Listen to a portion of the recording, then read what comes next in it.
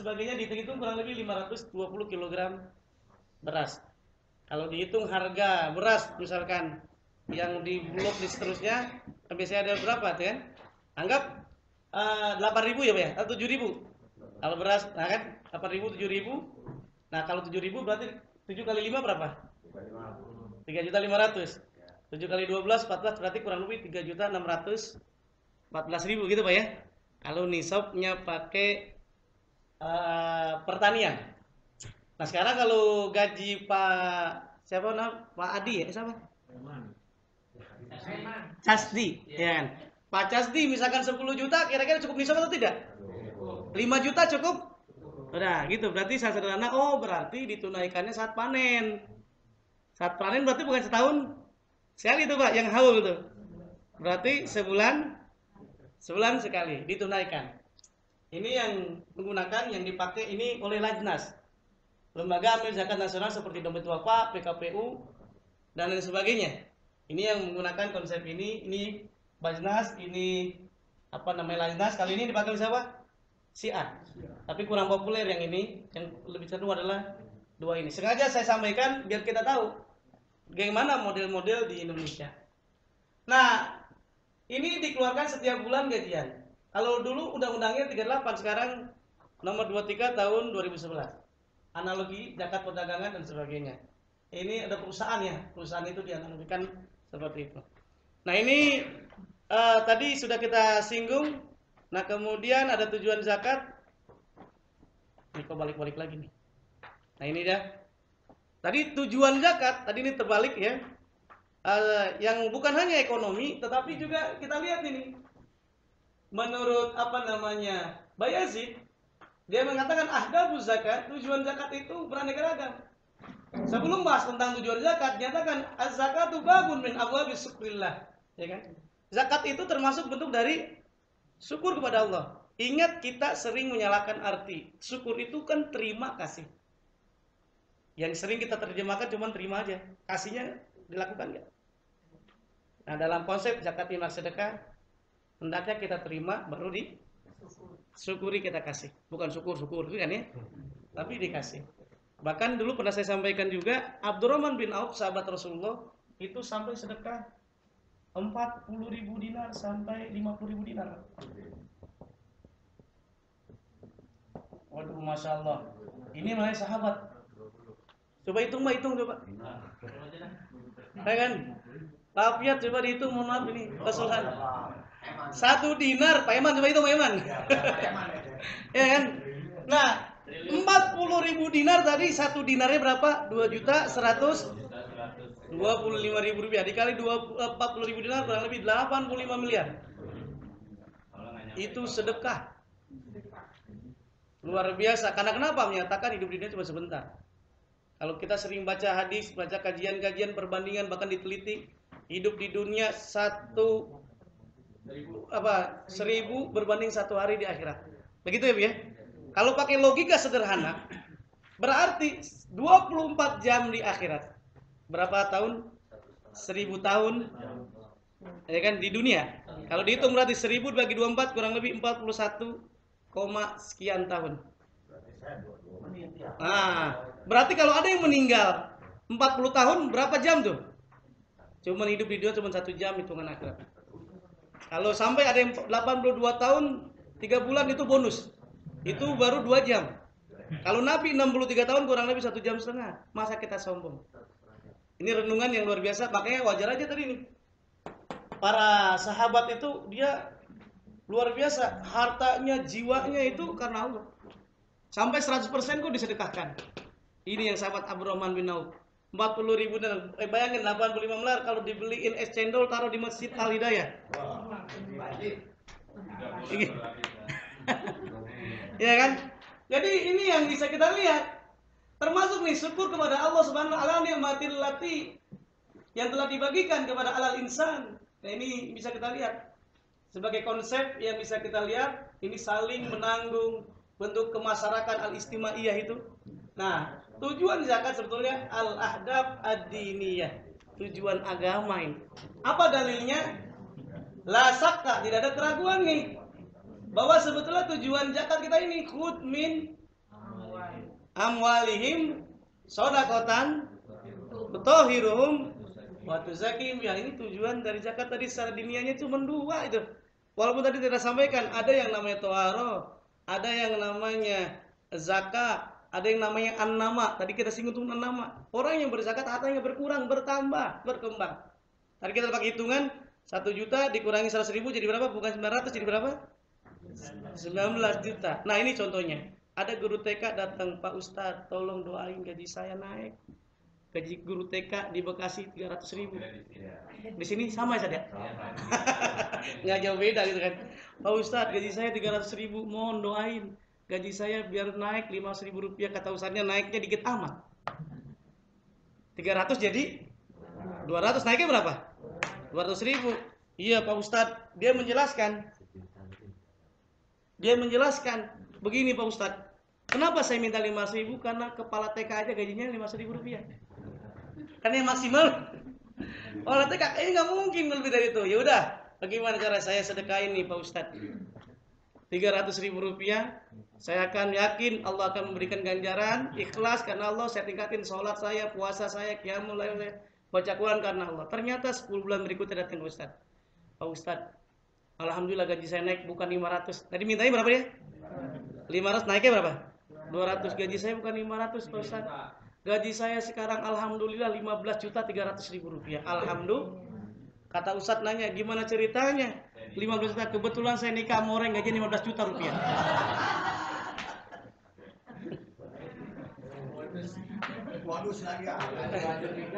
Ya, mohon maaf kisah ini seolah-olah bercanda tapi memang serius bener.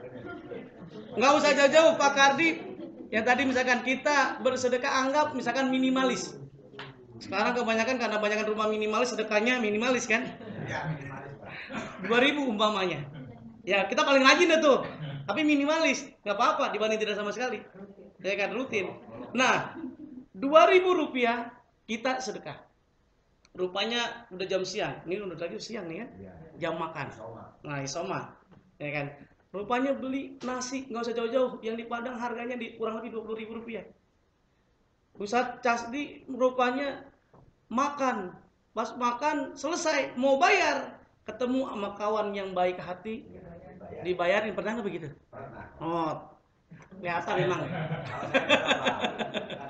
nah, nah, ini bukan logika sederhana, memang ada. Janji Allah apa? Inna Allah la yukhliful niat minimal 10 kali lipat, 2000 dikaji 20 ribu. Karena saya yakin saya juga sering begitu juga. Ada orang sedekah saya diminta buat bayar SPP pernah saya? Ada saudara saya kasih uang 1 juta eh saya dapat 100 juta. Ini logika yang sangat sederhana. Bahkan ada juga kisah saya teliti dan saya sering curhat ada yang OB karena dia sering sedekah karena dia lihat ada saudaranya itu meninggal dunia tidak ada yang membiayain dia yang senantiasa biayain kasih uang Padahal logika sederhana anaknya nggak bisa kuliah, tapi bisa kuliah S3 gratis sampai ke, ke di Malaysia.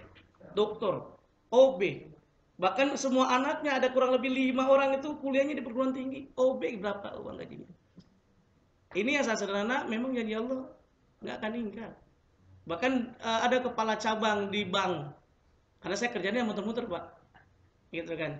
Karena saya lihat Alhamdulillah Indonesia ini kan kurang lebih 17 ribu pulau pak ya. Luar biasa. Itu belum ditambah pulau gadung pulau kebang pak. pulau seribu juga belum. Eh, boleh. Oke ini diingatkan saja kembali. Nah ini ya dari awal-awal kalau memang udah dijelaskan ya kita bahas kitab aja kan. Kitabnya sudah memang disiapkan. Tapi kemarin eh, pokoknya sharing aja diskusi ya sudah saya bilang tidak perlu kita pakai slide lah begitu kan ini ada juga ini ada konsep tadi, bukan hanya nama berkembang, ber, ber, apa, berkembang.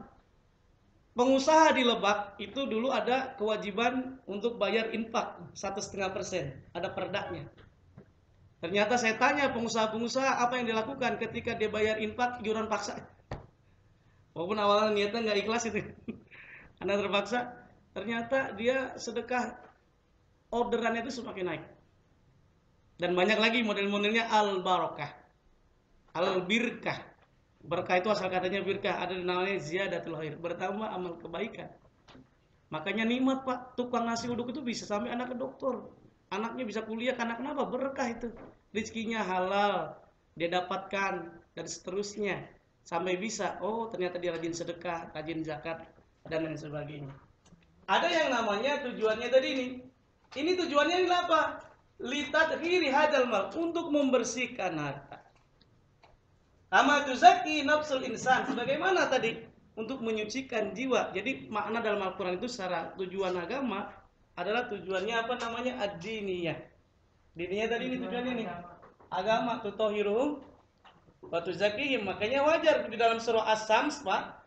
Kalau kita ingin sukses resepnya cuma dua. Kita suruh pilih mau sukses mau gagal. Kalau mau sukses apa rahasianya? Kalau dalam surah As-Sams qad aflaha man zakka sungguh telah sukses orang yang menyucikan jiwanya. Kalau untuk lebih jelas lagi tentang training-training uh, orang bisa sukses dunia akhirat ada IMZ ada training namanya Quranic Question. Nanti bapak-bapak yang udah pernah ikut kajian dengan saya dapat diskon katanya. Bisa 50%. Nanti bisa hubungi pihak dari Mas Pras dan kawan-kawan ya. Itu ada kajian tersendiri. Bahkan tadi yang saya sampaikan ada Bapak Al-Muttaqin ya, Al-Muttaqun. Al-Muttaqin. Nah ternyata dari sekian ayat dalam Al-Quran kalau orang ingin sukses itu menggunakan redaksi aflah. Al-Muflihun. Tuklihun. Pakod faza. Fauzan. Dan lain sebagainya. Intinya apa? Cuman takwa. Nah itu bisa dilihat termasuk puasa tujuannya apa Pak? Takwa. Takwa lah alakum. Takwa, takwa. Bahkan dijelaskan itu dalam kajian nanti lebih banyak lagi dalam surah Al Imran. Apa syarat takwa yang kita bahas? Alladzina yunfikuna fisarroi wadoro. Infak di situ bukan mana infak wajib, tapi infak sunnah. Karena kenapa? Dalam keadaan doro, pisarro gembira, doro sempit. Berarti wajib atau sunnah kira-kira? Sunnah. Kalau yang wajib ada kewajiban. Kan. Terus apa lagi rasanya? Ternyata alladzina yunfikuna fisarro wadoro wal kadimin menjaga emosi. Wal afin nas memberi maaf. Nah ini yang dinyatakan oleh Allah yuhibbul muslim. Orang yang berzakat infak termasuk muslimin itu. Bahkan dinyatakan umpama kalau kita tahu kapan meninggal dunia, ini kan renungan. Zakat tuh banyak sekali. Bisa cek dalam surah Al-Munafikun. Seandainya kita besok meninggal dunia, apa yang dilakukan oleh Pak Afiat? Ya kan? Apa yang dilakukan Pak Sulhan? Akan langsung beribadah. Iya kan? Pak Casdi, ya kan? Pak Sulaiman ya, Pak Eman. Nah, apa janjinya? Kalau kita dikasih tahu besok meninggal dunia karena hidup dunia sejam setengah, jangan sombong, jangan jangan takabur. Nanti akan diminta pertanggung oleh Allah. Apa janji Wala yuakhirun nafsan tidak tidak aja lu kan? Pala yastakhirun kita nggak bisa itu mau maju mau mundur. Kakek Sarini maju mundur maju mundur. Ya kan? Apa janji kalau kita dikasih usia apa dalam surah Munafikun Pak Asad dako wa akum minas salihin. Kalau saya besok tahu meninggal dunia besok umpama besok, karena kan kita camat nih, kalau mati. Bapak tahu nggak kapan meninggal dunia? Gampang, kita meninggal dia cuma di hari ketujuh aja, di tujuh hari pak. Kalau nggak Senin, nggak Selasa, Rabu kalau Rabu, kalau Kamis, Jumat dan seterusnya ya. Nah, ini mohon maaf agak menyimpang sedikit tapi kita bisa belajar. Ada filosofi tujuh. Sa'i kita diingatkan prosesnya dengan apa? Dengan Siti Hajar dengan Nabi Ismail. Siti Hajar dan Ismail tidak berhenti sa'i sebelum berapa kali? Lari kecil. Tujuh kali inna sofa wal marwata insya Tawaf berapa kali? Jangan berhenti sebelum tujuh kali. Langit dan bumi berapa kali? Berapa lapis? Tujuh lapis. Bumi Tujuh. Termasuk hari ada berapa tadi? Tujuh. Tujuh. Angka taubat kita benar, kita tidak, kita zakat atau tidak di hari ketujuh itu. Ini yang dinyatakan tadi tujuan zakat itu tadi apa? Al-ahdab, al-istimaiyah. Ada aspek sosial. Kenapa terjadi konflik? Mohon maaf, saya bukan mengorek-ngorek. Jadi konflik di Indonesia dulu masih ingat adalah Dayak dengan Madura. dengan Madura. Ini kan boleh jadi ada renungan muhasabah. Boleh jadi apa? Yang lebih sukses biasanya kan pendatang, Pak. Ya. Kalau zakatnya baik, impaknya baik, sedekah baik, terjadi nggak kira-kira konflik? Nggak akan terjadi, karena tadi kecemburuan. Tapi Islam inilah yang mengerjakan, oh ternyata luar biasa. di mana pun kita berada di situ bumi